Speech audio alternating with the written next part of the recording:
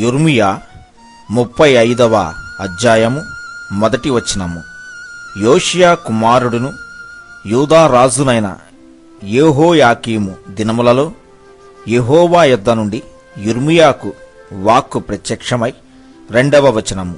నీవు రేఖాబీల యొద్దకు పోయి వారితో మాటలాడి యెహోవా మందిరములోని గదులలో ఒక దానిలోనికి వారిని తోడుకొని వచ్చి త్రాగుటకు వారికి ద్రాక్షారసమిమ్మని సెలవీయగా మూడవ వచనము నేను ఇర్మియా కుమారుడును యజన్యా మనముడునైన హబజ్జిన్యాను అతని సహోదరులను అతని కుమారులనందరినీ అనగా రేఖాబీల కుటుంబీకుల అందరినీ తోడుకొని వచ్చి తిని. నాలుగవ వచనము ఏహోవా మందిరములో దైవజనుడకు యుగ్ధల్యా కుమారుడైన హానాను కుమారుల గదిలోనికి వారిని తీసుకొని వచ్చి తిని. అది రాజుల గదికి సమీపమున ద్వారపాలకుడును షల్లూము కుమారుడునైన మాయాశయ గదికి పైగా ఉండెను. ఐదవ వచనము. నేను రేఖాబీల ఎదుట ద్రాక్ష రసముతో నిండిన పాత్రలను గిన్నెలను పెట్టి ద్రాక్ష రసము త్రాగుడని వారితో చెప్పగా ఆరవ వచనము. వారు మా పితరుడగు రేఖాబు కుమారుడైన హోనాదాబు మీరైనను మీ సంతతి వారైనను ఎప్పుడునూ ద్రాక్షారసము త్రాగకూడదని మాకాజ్ఞాపించెను. గనుక మేము ద్రాక్షారసము త్రాగము. ఏడవ వచనము. మరియు మీరు ఇల్లు కట్టుకొనవద్దు విత్తనములు విత్తవద్దు ద్రాక్ష తోట నాటవద్దు. అది మీ కుండ నేకూడదు. మీరు పరవాశము చేయు దేశములో దీర్ఘాయుష్మంతులగునట్లు మీ దినములన్నీయు గుడారములలోనే మీరు నివసింపవలనని అతడు మాకాజ్ఞాపించెను.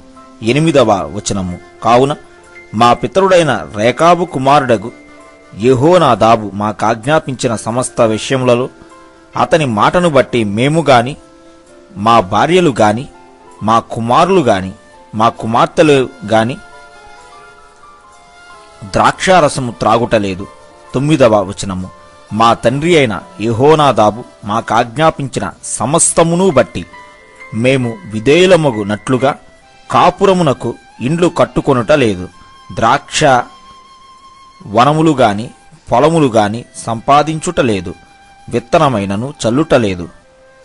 పదియవ వచనము. గుడారములలోనే నివసించుచున్నాము.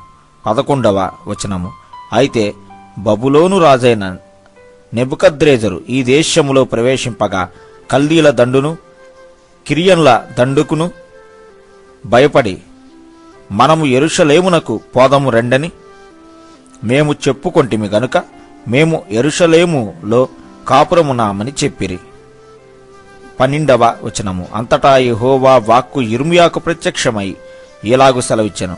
ఇస్రాయేలు దేవుడగు యహోవా సెలవిచ్చినదేమనగా పదమూడవ వచనము. నీవు వెళ్ళి యూదావారికిని ఎరుషలేము నివాసులకును ఈ మాట ప్రకటింపుము. యెహోవా వాక్కు ఇదే. మీరు శిక్షకు లోబడి నా మాటలను ఆలకింపరా? ఇదే యహోవా వాక్కు. పద్నాలుగవ వచనము. ద్రాక్షారసము త్రాగవద్దని రేకాబు కుమారుడైన యహోనాదాబు తన కుమారులకు ఆజ్ఞాపించిన మాటలు స్థిరముగా ఉన్నవి. నేటి వరకు తమ పితరుని ఆజ్ఞకు విధేయులై వారు ద్రాక్షారసము త్రాగకున్నారు. అయితే నేను పెందలకడా లేచి మీతో బహు శ్రద్ధగా మాట్లాడినను.